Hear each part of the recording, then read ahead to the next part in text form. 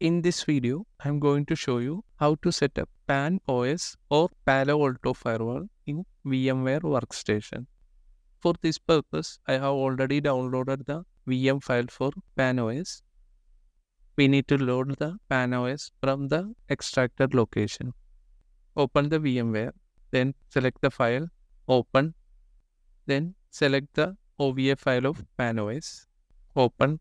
Here we can enter the name of virtual machine. Also, we can select the location where we want to save.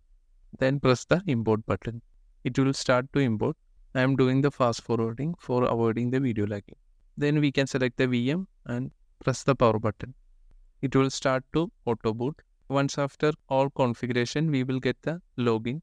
We need to enter the username and password. Default username and password is admin admin. You may try three times, then only the fourth time it will accept the login. Now you can see login is accepted. Now we need to change the password once after login. Now our password is changed. If you want to see the interface, we can type the command show interface management. Here we can see the details of interfaces, including the MAC address. For getting the PanOS version, we can use the command debug swm info. We will get the details of PanOS version.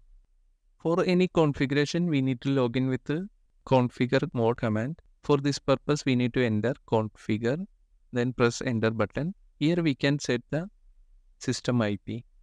Use the command set device config system static. And this is the command we are using for making the system as static IP configuration. Then we need to enter the IP for the interface. Set device config system IP. Then we can enter the IP address. I have attached these all commands in the description. Here am I, I am using 192.168.1.10 for setting the IP.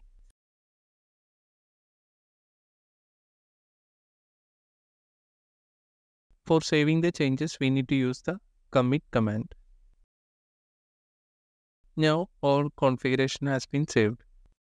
Now try, we can try to ping the IP. If it is not pinging, we need to verify whether our LAN interface, that means local interface, the same range of IP.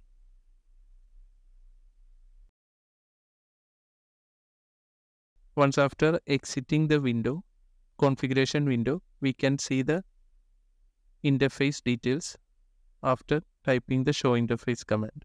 Here we can see the IP address. Now it is able to access using the web browser. Open the web browser, type the IP of PanOS which we have configured. Now we can see the device is logging. Now we can see it will be able to log in with the username and password.